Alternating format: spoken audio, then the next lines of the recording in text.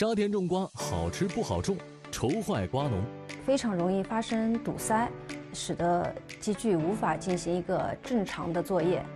种瓜神器闪亮登场，却遭遇困难重重。土壤的性质的问题，它是一个沙质的土壤，经常会出现大眼瞪小眼的一个这样情况。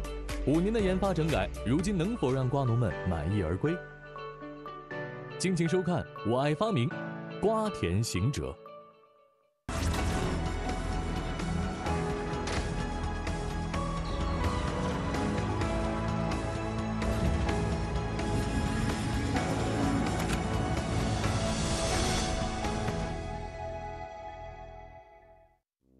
到夏季，大家都喜欢吃西瓜、蜜瓜，解暑止渴。那么你们知道哪里种的瓜最甜最好吃吗？天下蜜瓜看民情，民情蜜瓜甲天下。今天就给大家分享一下来自蜜瓜之乡的民情西甜瓜，香味独特，肉嫩多汁，含糖量高达百分之十五至十八。而在其他地方种植的蜜瓜含糖量都在百分之十三以下。那么为什么民情西甜瓜会这么甜呢？因为甘肃省民勤县镶嵌在腾格里沙漠和巴丹吉林沙漠之间，这里降水稀少，昼夜温差大，光照充足，每天日照时间超过十二个小时。天然的条件让这里种出来的瓜积聚更多糖分。也正因如此，甜蜜爆表的民情蜜瓜越来越畅销，成为了民情百姓的黄金瓜，也被称为沙漠上的金色奇迹。看到这里，大家有没有好奇，在干旱缺水的沙土地里是怎么种出来这么好吃的瓜呢？跟着我一起去民情县一探究竟。在民情。天然的地理优势赋予了瓜果更高的糖分，但是种植模式却给瓜农们带来了重重种植困难。因为在这里种瓜采用的是旱糖瓜种植模式，种植工序繁琐复杂。首先要在平整的耕地上开沟起垄，沟内灌水，这样可以有效节水，确保根系充分吸收水分，避免瓜果淹水而腐烂。开工起垄后，要在沟塘内覆膜，也是为了能锁住土壤里的水分，起到节水的作用。旱塘瓜种植模式有效地保证了瓜果的品质和产量，但是这种种植模式让民勤蜜瓜产业濒临消失，这是为什么呢？原来，如今民勤蜜瓜、西瓜的种植面积约有二十万亩，每亩瓜田种植需要六个人工，需要一天半的时间才能完成一亩地的种植全流程作业，每个人工日均工资是一百元。在旱塘瓜种植期间，就需要大量的劳动力和劳务成本。我们现在收的好多的瓜的效益啊，其实是农民劳动力的一种转移。近些年，农业人工劳动力短缺和数额巨大的人工费用，成为了民间瓜农们的沉重负担。每年瓜果收成的收益，几乎成为了种瓜的成本。辛苦种瓜却没有好收成，越来越多的瓜农不愿意再继续种瓜。依旧坚持劳作在瓜田里的都是四十五岁以上的瓜农，人数已不足千人。面对二十万亩的瓜田，需要种植的时候也是心有余而力不足。如果再解决不了种瓜机械化的问题，瓜田将面临着荒废的可能，以后就没有那么好吃又物美价廉的民情蜜瓜和西瓜了。所以，机械化种植旱糖瓜迫在眉睫，成为了拯救民情蜜瓜之乡的希望。根据我们甘肃省这个旱糖甜瓜生产对机械的需求，我们呃向龚老师提出了这个什么申请，希望他们研制一下符合我们呃这旱糖瓜生产的一些机具。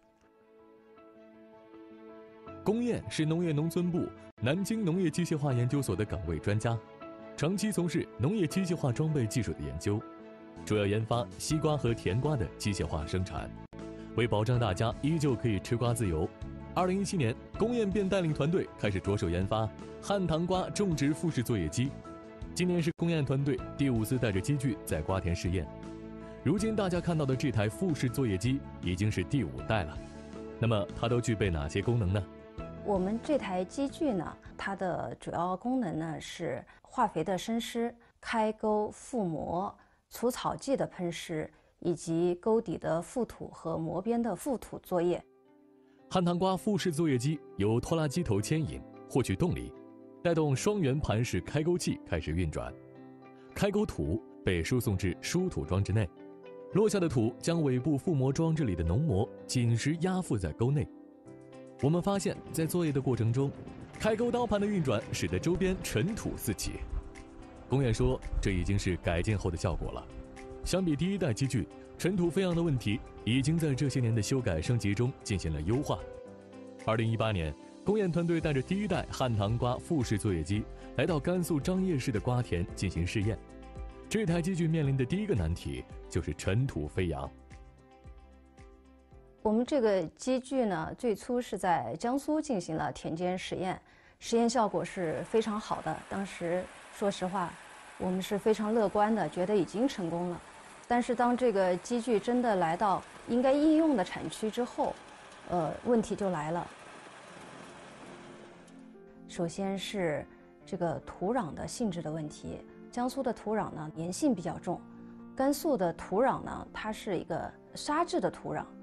我们在这个甘肃的田间实验过程中，就发现土壤的输送、呃排土等方面呢，和江苏的实验效果是截然不同的。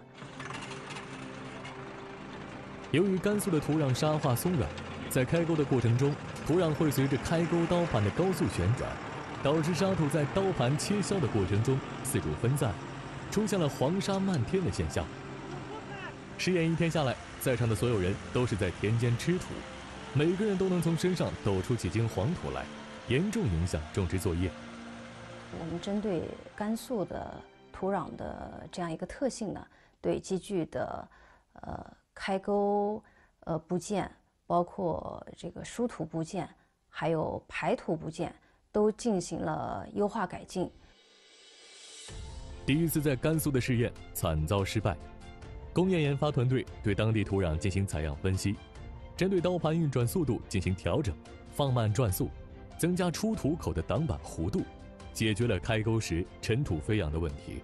这个机具在投入使用过程中，它面对的是土壤、农作物和这个农作物的种植模式，所以机械化的技术是必须要和农业技术相融合起来。甘肃产区的土壤环境的特殊性，不仅是研发出的机具需要适应，来自南京的工业和研发成员们也需要先攻克水土不服的问题，去适应南北生活习惯的差异性，尤其是南北方言的大相径庭，让最初的沟通都变成了困难。我们在这边遇到的最大的一个困难就是跟当地的农民伯伯，嗯，语言沟通上不是很通畅，经常会出现。大眼瞪小眼的一个这样情况，只能靠动作和他的口型去判断，有时候会出现呃嗯嗯好好会这样。入伏三十公分，呃，积极茎盖粗壮，嗯，人身生生质。龚燕带领研发组成员一边攻克地域困难，一边针对甘肃的土壤的特性，对机具的开沟部件、输土部件。排土部件都进行了优化改进。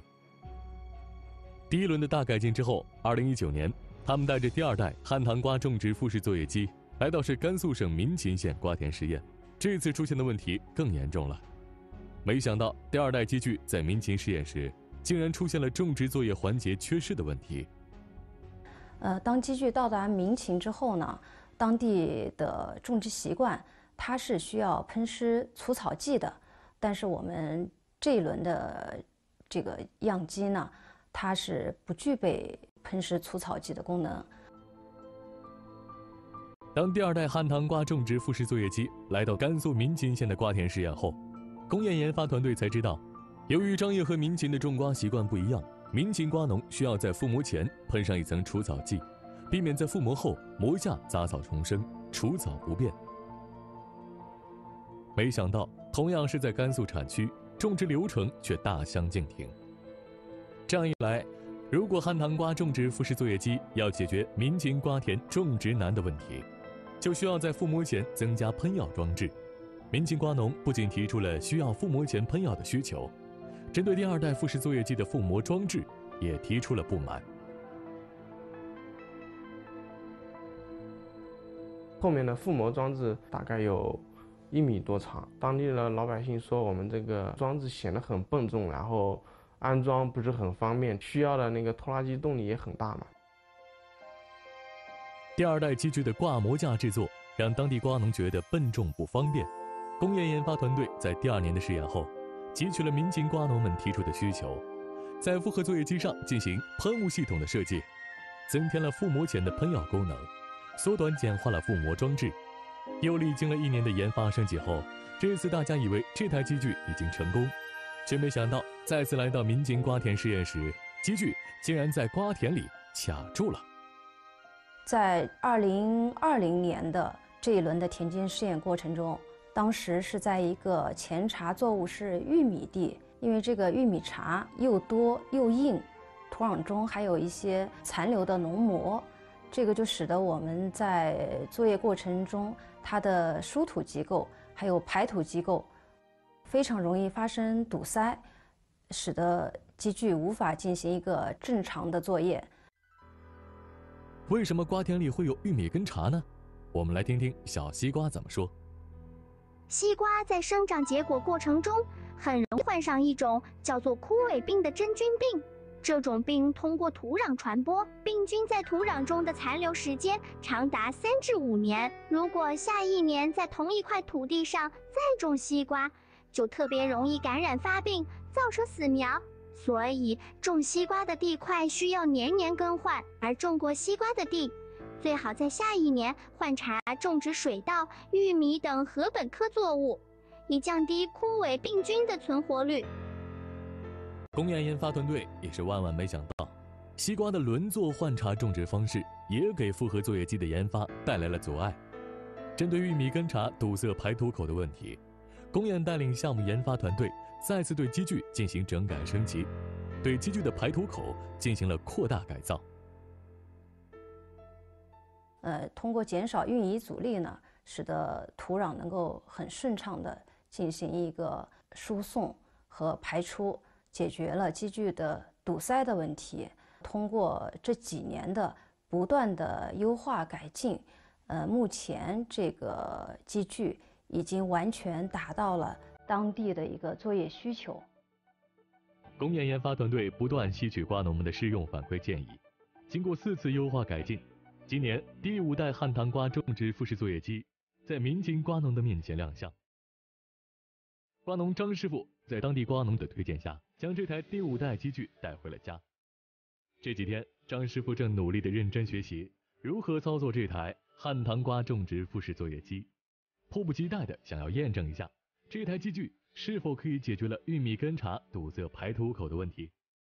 张师傅将机具开进了有玉米根茬的耕地里，面对有玉米根茬和残留农膜的土地，第五代汉唐瓜种植复式作业机的排土口是否会堵塞呢？正如工业所说，玉米根茬等杂物堵塞排土口的问题也真正得到了解决。这台机具在有玉米根茬的土地上正常运行，并没有发生堵塞的状况。在这个比较复杂的、呃有阻碍的这个土壤里面啊，作业效果质量是非常好的。大家都看一下，地下点线。还有一些有，还有一些缺在里面的是吧？都都都都没有受到影响，是吧？对对对，这都是影响嘛。啊，这都没都都没受到影响。嗯，说明这个机具对这个前茬作物的根茬，它的适应性还是很好的，也不会让这个机具发生堵塞哈。是这个机械的是性能啊，就是它能够适合各种比比较复杂的各种土壤的类型结构。验证并没有结束，张师傅和所有瓜农们今天还想验证一下。这台机具对比人工效率究竟提高了多少？人工成本究竟能节省多少？作业质量是否达标呢？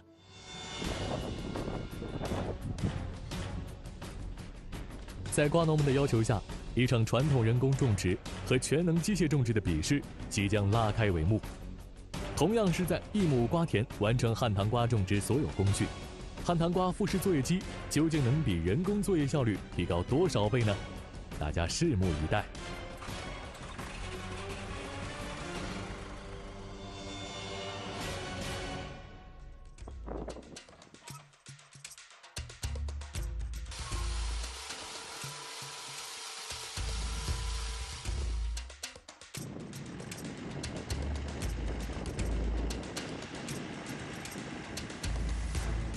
人工队和复式机的比拼正式开始。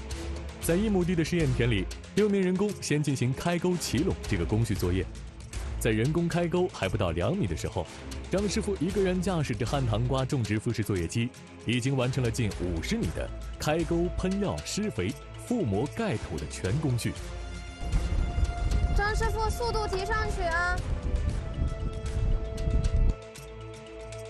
拖拉机的速度慢一点儿。在人工开沟五米的时候，张师傅已经完成了两道开沟全工序。就别说人工开沟后还要喷药、施肥、覆膜了，机具效率远远超过人工数十倍。人工队看到如此悬殊的作业效率，纷纷暂停了手上的工作，根本比不过，主动放弃与机械比拼，还是仔细观看机器是如何运作的吧。张师傅操作这台机具已经得心应手，优化升级后的机具大量的减少了尘土乱飞的现象，覆膜前喷药、施肥。然后覆膜轮有条不紊地把浓膜压覆在沟内，排土口落下的土精准地盖在了浓膜上，使覆膜更加紧实坚固。看起来一切都十分顺利。验证结束后，瓜农们都特别感兴趣地了上来，想要检查一下如此快的效率，作业质量怎么样呢？大家大家可以试一下这个紧实度哈，嗯，嗯，可以看一下这个这个牢不牢哈？您看一下这个钩是不是和你们平时人工作业这个比较一下它的作业质量？这沟效果也好，质量也好，沟是紧不紧？紧，沟也铺得紧，这个铺得也窄。你看沟也砌不砌？那沟也沟也也砌。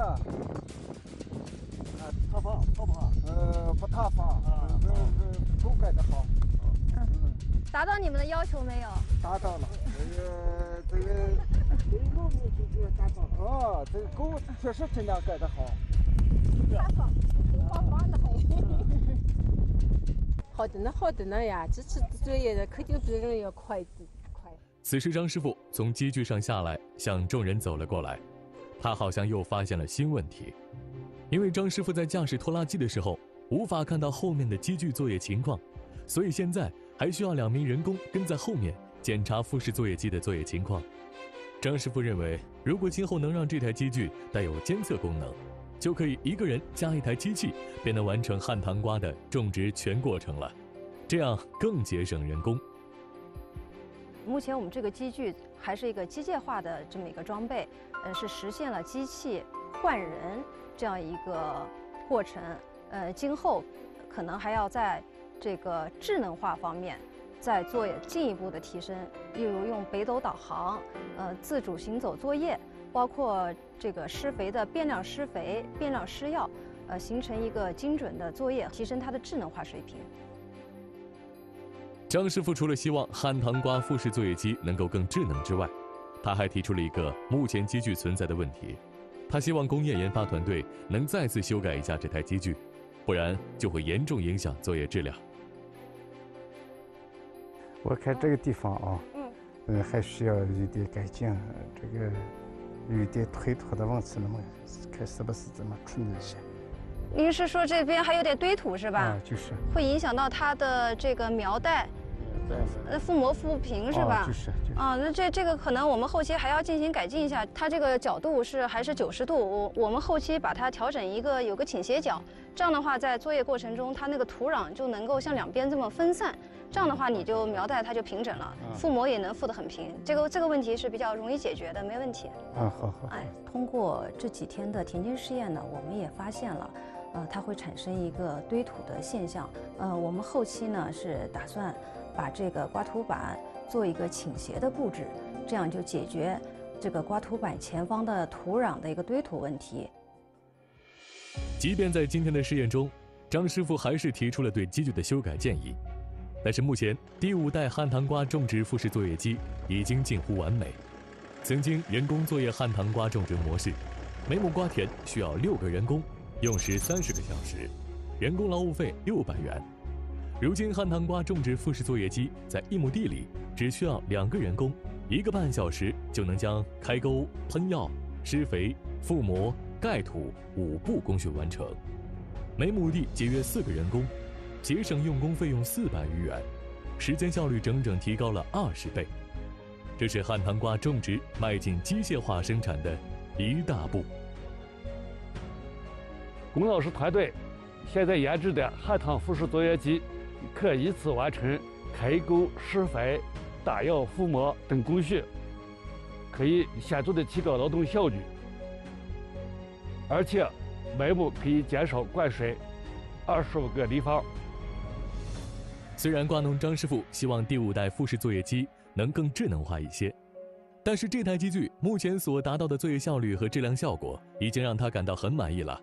验证结束后，他就掩饰不住内心的喜悦和兴奋。这个操作并不难，只要能把那个水夸的那个尺寸调节合适，这个嗯操作还是挺简单的。第五代汉唐瓜种植复式作业机的试验取得了阶段性的成功，实现了汉唐瓜田的化肥深施、开沟起塘、沟底覆膜、膜上覆土的机械化复式作业。张师傅更是欣喜不已，以后拥有了汉唐瓜种植复式作业机，汉唐瓜的种植工作会十分轻松，人力物力大大降低，作业效率飞速提升。想到这些，张师傅开心地邀请大家去家里吃瓜，以表庆祝。来，大家尝一下我们面前的蜜瓜，吃瓜边吃边聊。来，那行，大家先来先吃来边吃边聊。边吃边聊。哎，吃西瓜，西瓜之外的吃西瓜。好了，我我我来我来我来吃一个甜瓜。嗯，好。看见瓜甜果香，看见农民们这个非常开心的笑容，就觉得这个事业是选对了。我是非常喜欢西北这个地方，我觉得民风淳朴，包括这里的地理、人文，都非常喜欢这个地方。尤其是这几年每年都来，就感觉这里已经成了自己的第二故乡。汉唐瓜种植复式作业机的研发不仅适用于甘肃民勤，还适用于所有的缺水干旱地区的汉唐瓜种植模式。比如新疆哈密、甘肃瓜州、张掖都在种植汉唐瓜。这项发明解决了我国西甜瓜产业在繁琐种植环节无人可用的困境，拯救了种瓜人，也为吃瓜人留住了香甜。龚燕带领的研发团队就像瓜田间的行者，为所有瓜农们踏出机械种植之路，为西甜瓜全产业机械化开出条康庄大道。吃瓜福利来了！大家知道如何挑选优质的西瓜和蜜瓜吗？杨老师，咱们测这个瓜的品质的时候，咱们主要是看哪几点呢？我们在考量瓜的品质的时候，第一步先要看它的外观是不是好看，像尤其像甜瓜，颜色金黄的或者带网纹啊，网纹很密，你看这个网纹很细密，是一个很好的成品外观性。这个瓜如果是非常好的品质，看完外观以后，我们就要把这个甜瓜拿起来，用手要抹一下，看它的这个表面是不是带棱带沟啊。再一个，然后抹一下锅体的软硬，来判断这个瓜的成熟度，这是第二步。第三步要拿起来要闻一闻，你像一些甜瓜呢，它成熟以后带有一定的香气和香味。如果闻着一定香气和香味了，证明这个瓜就成熟了。这是第三步。第四步呢，我们要切开瓜，剖开瓜以后看瓜里边内部，啊，看它的瓤色，瓤色的艳丽程度。越是这个橙黄色的或者是越绿的，它的颜色呢就颜色越好看。还有咱们的这个西瓜呢，也是要瓤色淡红，就是外观看。要吃之前，我们先要闻一下它的这个香味，然后在吃的过程中要吃看它的这个脆度啊，它的品质脆度，然后再感觉它的这个口感咬下去以后汁液的丰富与否。如果汁液很丰富，这是一个很好的品质。所以这个瓜的品质算是你说的已经中高档了，是上品瓜，是吧？上品瓜是吧？那上品瓜我们就得好好的尝一尝了啊。就是啊，那，吃一下感觉很好的。嗯。甜瓜里边还有一种叫脆，清香、酥脆，